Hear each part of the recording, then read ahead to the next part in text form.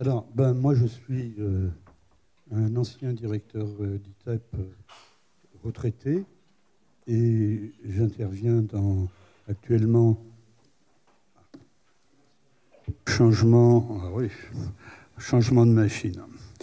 J'interviens actuellement dans le cadre du Centre de recherche psychanalyse, médecine société à Paris 7 d'Hydro comme directeur de recherche associé. Je suis également secrétaire de rédaction de la revue Psychologie clinique pour l'essentiel. Voilà. Alors, quels sont ceux que nous avons appelés les enfants du professeur Roger Misès? Ce sont des concepts et ce sont des enfants traités à l'aide de ces concepts. Les enfants vont devenir des patients dont la cure entreprise sera bénéfique car mutative, comme il disait, de leur situation pathologique. Voyons de quoi cela procédait compte tenu de l'histoire et des pratiques de la psychiatrie infantile, dont les apports se situent dans une clinique que nous pratiquons encore. Pour cela, lisons des textes qu'il écrit seul ou en compagnie de ceux qui ont coopéré à son œuvre. Le professeur euh, Roger Misès, à qui l'on doit la sortie du système asilaire des enfants et sa transformation en institution thérapeutique, comme il l'a lui-même entrepris à la Fondation Valais, notait à l'issue des années 60 que la réintégration sociale à l'âge adulte d'un enfant déficient était difficile à cause de la ségrégation dont il est l'objet et des techniques orthopédiques qui lui sont appliquées dans le domaine éducatif ou pédagogique. On voit combien, à l'époque, il était difficile de déterminer les composantes qui précisaient la nature de pathologies diverses et stigmatisantes pour les dégager du magma des arriérations, des déficiences mentales et des réactions caractérielles. Les attitudes ambiguës qui se dégagent de ces propos, tant pour les conceptions de l'éducation nationale que pour des options psychiatriques, perdurent. Elles sont excessivement cultivées dans le but de les rendre incompréhensibles, ajoute-t-il. Par exemple, les méthodes institutionnelles sont toujours discutées, alors que Roger Misès précisait que la cure institutionnelle vise tout simplement à faire bénéficier certains enfants déficients mentaux d'un cadre thérapeutique actif qu'on leur refuse généralement pour appliquer des méthodes orthopédagogiques, excluant la visée d'un remaniement structural et il me paraît absurde, dit-il, d'être obligé de mettre sur un enfant l'étiquette de psychose pour que lui soit, dans quelques cas heureux, fourni les moyens thérapeutiques nécessaires. Et il poursuit, ces institutions thérapeutiques ne sauraient se définir par l'exclusion en tant que telles des méthodes pédagogiques ou rééducatives au bénéfice d'un remaniement exclusif des significations, ce qu'on a appelé l'interprétation sauvage, toute action se réduisant à n'être que l'instrument de la psychanalyse et toute occasion étant bonne à la distribution des interprétations dans une confusion totale des rôles. On lit combien la vie du professeur Misès est mesurée sur l'emploi de la méthode psychanalytique, au sujet de laquelle nombre de ses confrères insisteront en y différenciant le commentaire que l'on peut faire à un enfant à propos de ses agirs dans le cadre des activités éducatives ou pédagogiques et l'interprétation psychanalytique effectuée dans le cadre plus défini de la psychothérapie. Il convient de se souvenir de cette position pour l'inclure dans deux grandes options théoriques portées par Roger Misès, la cure en institution et les désharmonies évolutives. Ce dernier terme, terme est aujourd'hui moqué par des associations de parents lorsqu'il n'est pas compris. Ce fondement des soins destiné à favoriser les changements et les remaniements de la structure psychique de ces enfants malades. Nous voilà donc à la charnière des années 60 à 70.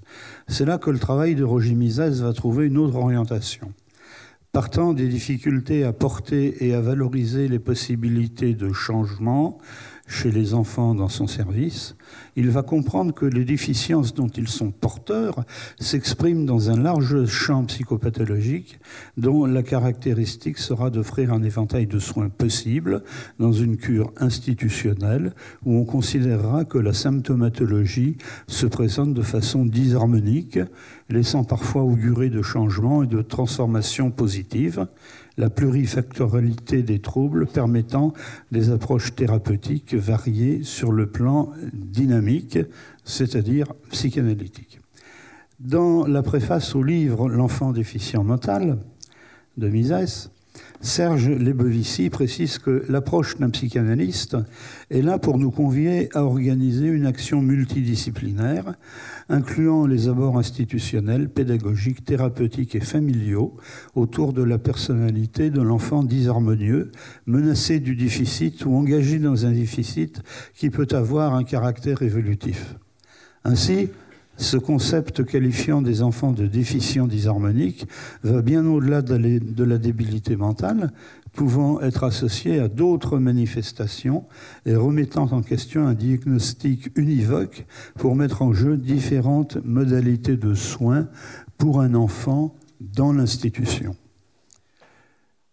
Roger Mises explique que sous ce terme, ont été retenues des formes morbides, incluant une insuffisance intellectuelle, des perturbations relationnelles de niveau variable et souvent des troubles instrumentaux.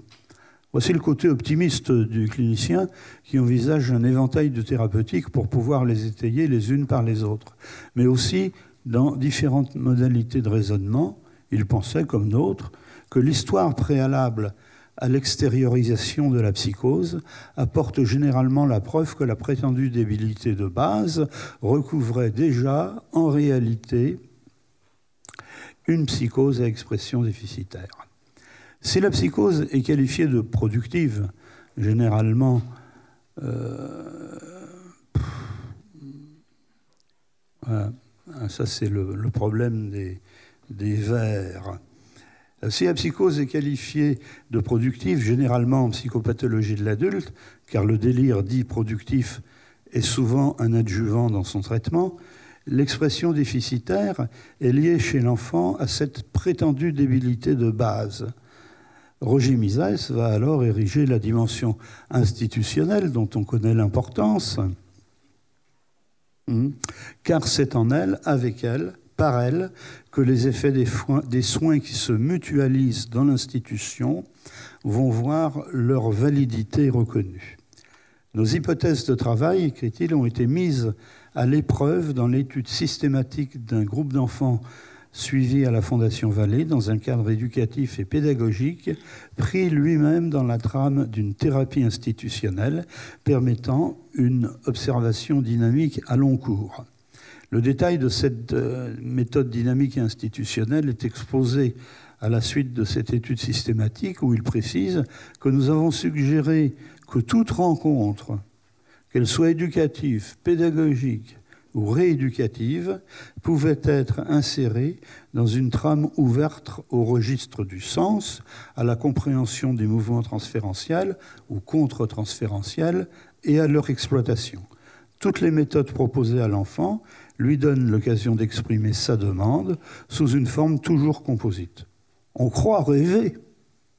Alors que Mises commençait par réfuter au début de son livre le trop de sens qu'il reprochait à Maud Manoni, il ouvre la réflexion à plus de sens, dans un sens plus expansif dans une institution où les méthodes proposées à l'enfant lui donnent l'occasion d'exprimer sa demande.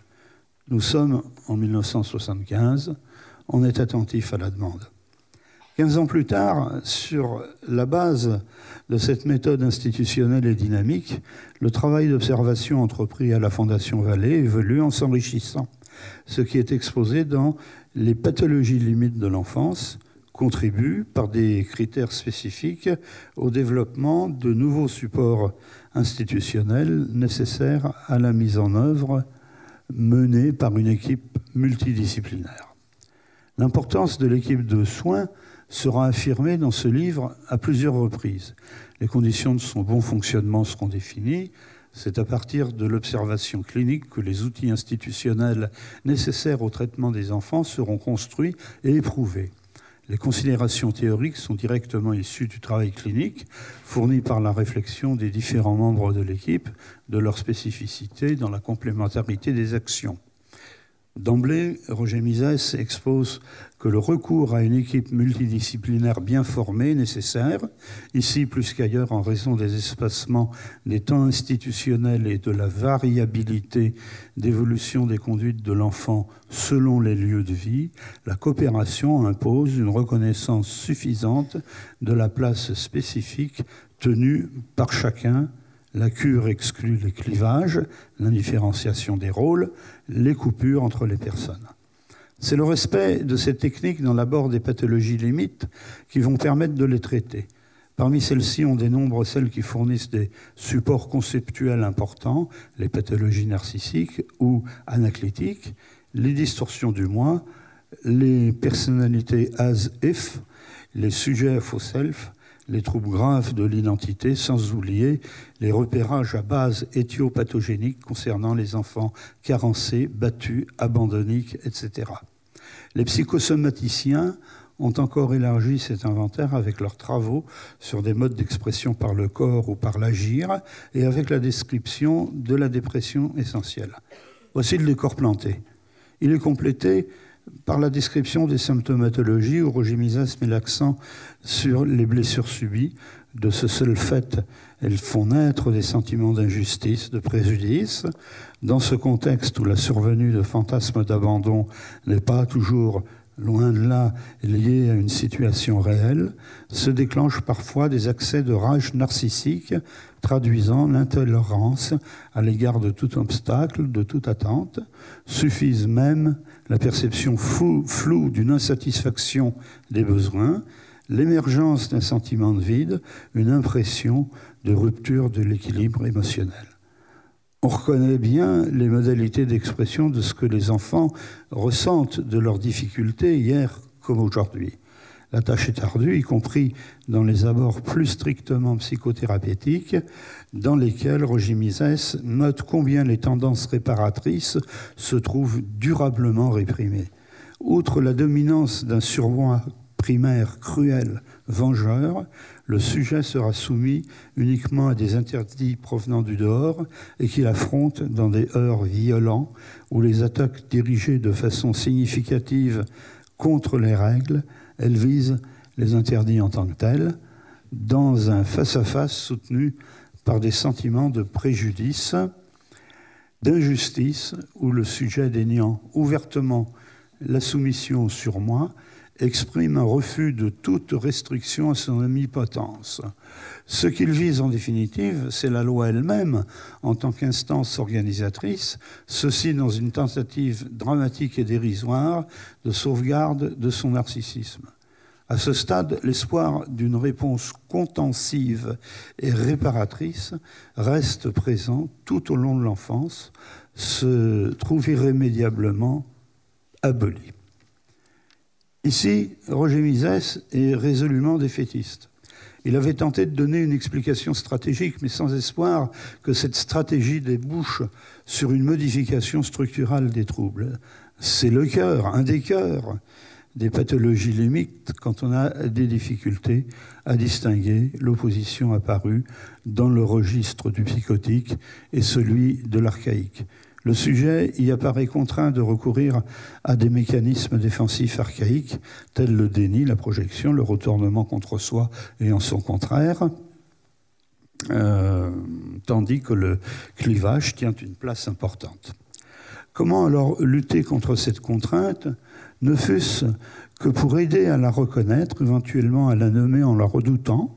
Voici une source constante des échecs thérapeutiques qui attaquent le cadre de référence auquel les soignants se rattachent, les soins apportés à des enfants et des familles dans lesquelles la psychose ou l'autisme, les disharmonies aussi, ont forgé les outils de compréhension anamnestique, ont marqué le début des possibilités psychothérapiques dynamiques, une façon permettant une façon d'équilibrer et de donner naissance à quelques relations intrafamiliales.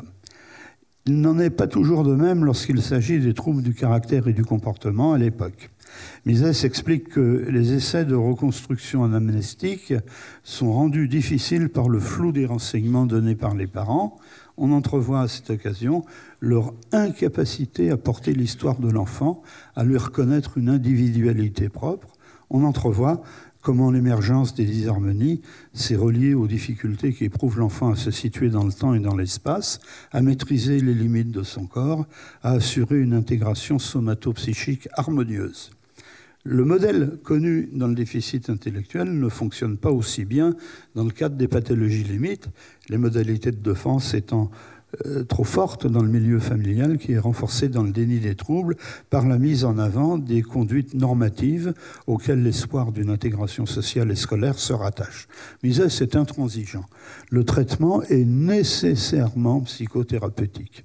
Pourtant, les attaques du cadre et des personnes sont tellement importantes et vives dans la plupart des cas que se pose la question d'une prise d'appui sur des supports éducatifs, pédagogiques, rééducatifs et des recours à des dispositifs institutionnels, soit à partir des hospitalisations de jour, soit à partir d'un centre d'action institutionnel à temps partiel.